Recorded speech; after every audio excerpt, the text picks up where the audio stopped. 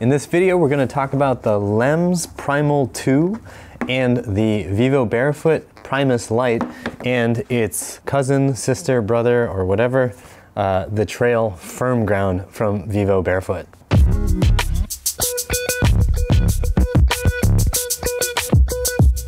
Hey everybody, it's Matt Hsu from Upright Health and I am under official shelter-in-place orders to self-quarantine here in the San Francisco Bay Area as a result of coronavirus. So my son is taking a nap.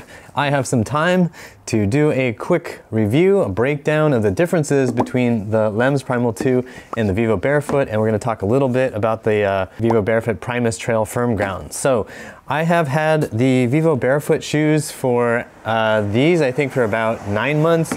Uh, these for roughly around the same time, a little bit less. The Lems I was sent for free by the LEMS people. They did give them to me for free, but they did not pay me for this review, so they haven't influenced anything about how uh, I actually feel about the shoes and the recommendations that I have about them and why I might choose these over these. One thing I do want to point out though is I have owned Lems uh, barefoot shoes in the past. Several years ago, I actually bought a couple pairs, one pair of their Primal and one pair of their boots, which I'll talk about later in a different video. So I have actually worn their shoes before and uh, I have paid money for their shoes before. They just happened to have seen a video that I did a couple weeks back talking about barefoot shoes and they said, hey, yeah, we'll send you some shoes so you can try out ours too again. So full disclosures out of the way.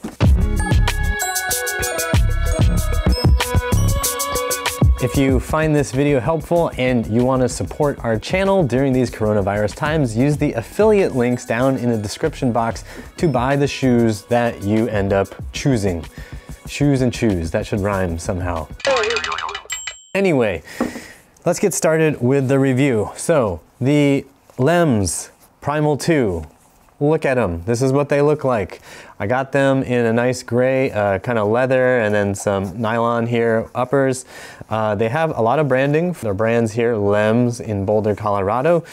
I have been wearing these shoes for about three weeks, so I obviously can't speak to durability, but based on the reviews and everything I've seen and the shoes that I owned of theirs before, they don't really have major durability issues. They have a different feel, a definitely different feel than the Vivo Barefoot shoes, which these have been my daily drivers um, for, again, about nine months, maybe even a year. These have a much softer, more forgiving feel. The sole uh, is more flexible so you can kind of see it has all these breakpoints that go basically throughout the entire sole of the shoe.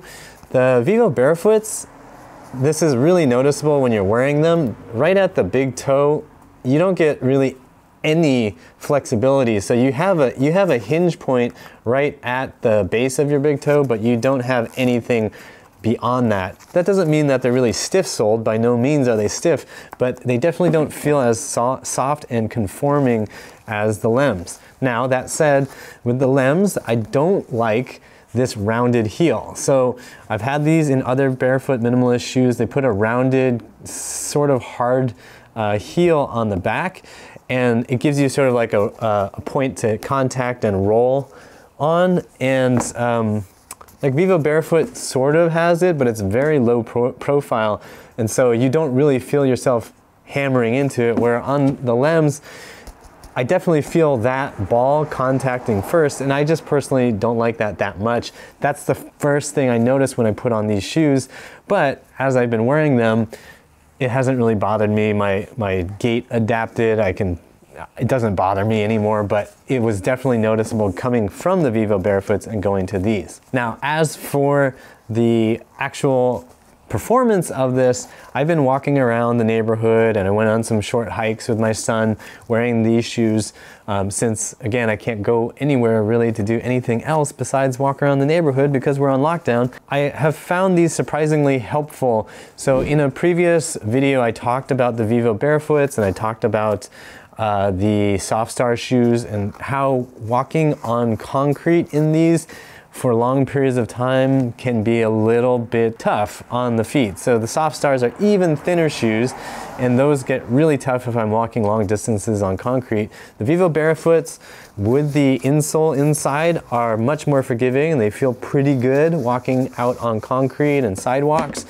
The Lems Primal 2 have a slightly thicker stack height. So when you add up the the insole and then the actual bottom of the shoe, the stack height is a little bit thicker than the Vivos and the insole on the Lems are a little bit cushier. So where I see these excelling over the Vivo Barefoots is that they are better on harder, less forgiving surfaces. And I like that when I'm walking around with my son, carrying my son on my shoulders, and we're walking on concrete. I would rather have a little bit more padding right now, or at least sometimes, just so that my feet don't get as tired and annoyed by the constant impact on a hard surface.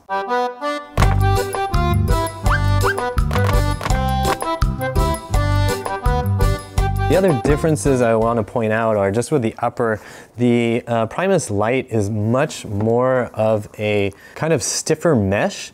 Uh, it breathes really, really, really, really well. These I would say are much better in the summer because they breathe so well. When you get up close, you can see that it is a mesh. You could just blow straight through and you would feel it on your skin if you were barefoot, but I usually am wearing socks.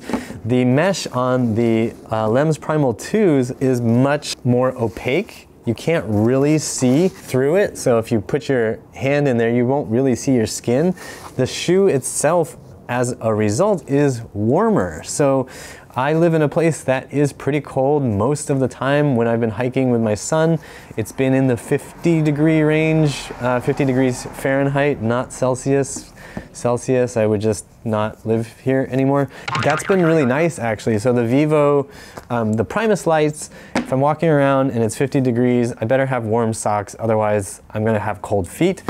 The Lems, I've also taken just biking around a little bit and in cold weather, these are nice and warm. So where that would be a problem is, I think in the summertime, for me, I would get pretty sweaty feet wearing these shoes, um, but I don't know how it might work. I, I can't say that for 100%, but I know my feet have been warm in these shoes and it's 50 degrees out, so I would imagine when it gets to be like 70 degrees somewhere and I'm walking around in these, they might get a little bit too warm. Another major difference between these shoes is the actual feel around the inside of the shoe. So I've noticed that the way the, um, the shoe here cups in and grips around the ankle on the Lems is much more soft and also more form-fitting to my ankle. So what that means is when I'm out hiking, where rocks might kind of get up and in around the ankle, I've noticed with the Lems, like the dust and the pebbles, just kind of get trapped up top and they don't sink down into the bottom of my shoe and get under my foot. Where if I'm wearing uh, Vivo Barefoots like the Primus Lite or the Primus Trail Firm Ground, I notice that stuff gets in. And notice with the Trail also that there are some other issues that the LEMS fixes and I'll talk about those in a second.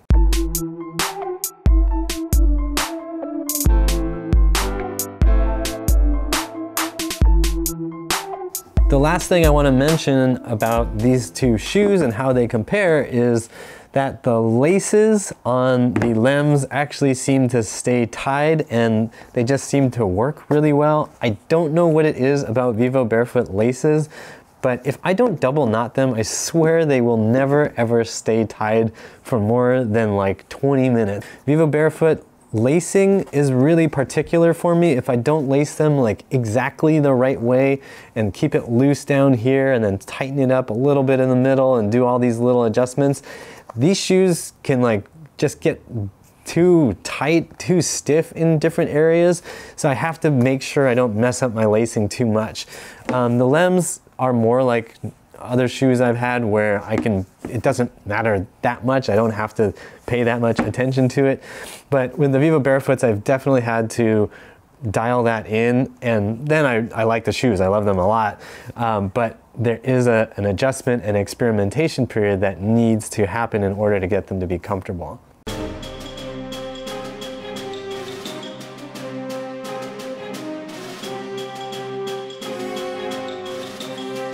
Now I'm talking about the Primus Lites versus the Lems uh, Primal 2s and you might be looking at them and saying like, well, those are obviously different style shoes and maybe really different functions. So let's talk about the Primus Trail from Vivo Barefoot. Uh, I have the firm ground edition. Most of the time I'm walking on firm ground. The Primal 2s are again a much more flexible sole. The, the firm grounds, the Vivo Barefoots, again don't have the flexibility near the tip, right? They don't have that ability to articulate towards the end of your toes. You do get that break point there, but it just doesn't feel as comfortable and conforming as the Primal uh, 2s.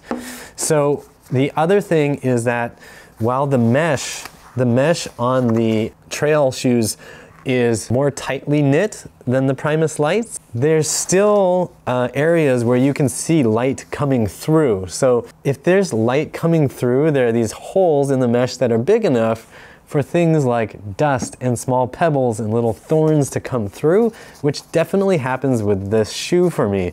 And also what happens is little pebbles and rocks come up and over on the sides and just slip right in. Just because of the way it fits around my ankle, it's more of a stiff um, upper here. And so it doesn't kind of have that cushy hugging feeling that the Lems have. Um, and so things can just sort of slip right in and then they get under my foot and into my socks and then I get a little annoyed. And then when I'm done, my socks are really dusty because dust just comes right in through the sides. Like I said before, the Lems, this area here around the ankle hugs really well around the ankle. It's soft and cushioned, not like crazy overly cushioned, but it just feels like it's conforming to the ankle a lot better and it seems to keep stuff out a lot better. And again, the mesh on the sides is much more tightly knit, so stuff doesn't just get in easily. The thing though that I would say is better on the Vivo Barefoots is the grip. When you look at the soles on these shoes, you can see a pretty big difference in the tread pattern. The Lems have tread. They definitely don't feel like I'm gonna slip and fall or anything like that. They definitely will grip when we're hiking around or when I have my son on my shoulders and we're going down a hill. It's not a problem. But I will say that this pattern, this tread pattern on the Vivo Barefoot uh, Primus Trail is just really, really effective. I remember the first time I took these out, I was blown away like how sure-footed I felt, like I could just grab and go and it just felt like I had four-wheel drive or something, which is pretty cool. When comparing these two shoes, another thing that's gotten my attention is the lacing. So like I said with Vivo Barefoot, I always need to play around with lacing if I, especially on these, if I pull too tight here and pull this up too much, it just chokes out my foot. And even if it doesn't seem like it's going to, over time, I start feeling these these very narrow laces digging in and it just feels like my foot is not moving very well. The lems were not hard for me to find the right spot and they just felt pretty good right out of the box. So that was a welcome, welcome contrast from the Vivo Barefoots. Let's talk about reasons why one shoe might be your preference versus the other one. First thing is style. This is highly, highly personal and dependent upon your geography. These shoes clearly to me look like they would fit in very well in a place like Boulder, Colorado. If you're in the Pacific Northwest, you're in an outdoorsy place. These shoes fit in really, really well. Shoes like the Primus Lite not so much. They really do look more like city folk shoes, and if you're living in a city, you may prefer to look like you're wearing city folk shoes. You may not want to look like you're going out for a hike later because people may not have anywhere to hike where you live and it just doesn't fit the style of the place you are in. So, style-wise, if you're in an urban environment, I would I would probably be wearing these and these are the shoes that I tend to wear more even though these are super comfortable. But we're on lockdown now, so nobody cares what I look like. You're lucky I even did my hair for this video. Another big factor here is how you want your shoe to feel and how flexible you want it to be. If you want a flexible, flexible sole, I would say the Lems are going to be more flexible, especially because of that extra flexibility near the toes. Uh, also, if you want the feel of your shoe to be a little more forgiving on concrete and hard surfaces, I would definitely go with the Lems. They have just a little bit of extra stack height, so it is a softer feel. Also, the mesh may be a determining factor for you. If you need something that's warmer, you want to go with the LEMS because these are definitely warmer than the Primus Lites and also definitely warmer than the Primus Trail. Both of these have a mesh that allows airflow um, much more so than the LEMS and they just let cold pass through a whole lot easier. So that could be a determining factor for you. Also, just in terms of the upper, you should know that the Vivo Barefoot uppers are just stiffer in general. So with the Lems, there's this feeling of almost having like a nice t-shirt or a sweater kind of layered over your foot where you can actually feel like it's much stiffer. You have almost like a plastic bottle kind of sheeted over your toes. And that doesn't generally bother me, but it's definitely a different sensation than uh, wearing the LEMS Primal 2s. As far as pricing goes, you'll have to check the websites to make sure you're getting updated information, but in general, the LEMS are cheaper than the Vivo Barefoots. Vivo Barefoots seem to enjoy occupying a place in the upper echelon of pricing for minimalist shoes, which is fair. Lems tend to be a little bit more affordable, so if you're just looking for the cheaper option, then you would want to go with the Lems. If you've got more questions about these shoes, feel free to drop a comment down in the comment section. And if there are other barefoot shoes that you want to see reviewed, that you want me to walk around on the street with for a little bit and see how they feel, let me know and I can reach out to some of those companies and ask them to trial some of their shoes while I'm under quarantine, if they can even send me shoes anymore because who knows how long we're still gonna be getting mail. Again, if you wanna help support us during these coronavirus times and make sure we're able to keep making these videos, then be sure to use the affiliate links down below for purchasing these shoes. It doesn't raise the price you pay, but we get a little happy kickback that we can use to buy more cans of beans in preparation for lockdown. And you can also head to our website at uprighthealth.com and check out our do-it-yourself programs so you can help train your own body and make it feel right. If you like this video, click the like button, share it with somebody who's also in lockdown and shopping for minimalist shoes, and subscribe to the channel so you don't miss out on any future videos about minimalist shoes and the coronavirus. I'm Matt Hsu from Upright Health, reminding you that pain sucks. Life shouldn't.